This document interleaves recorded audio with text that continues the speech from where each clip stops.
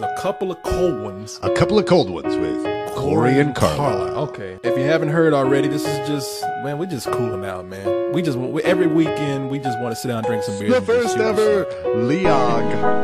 League. Oh, right, right. Oh, okay. The League of Extremely Ordinary Gentlemen. All right, welcome to the show, everybody. We don't have a name for it yet. Hello. Yeah. we're, we're figuring out names. It is very hard for me to say this, but still, after December, will be no more, at least in its current state. I had a call yesterday from the IRS, and they told me that after December, Spill will be unplugged. Site will be shut down. Spill will be no more. ain't going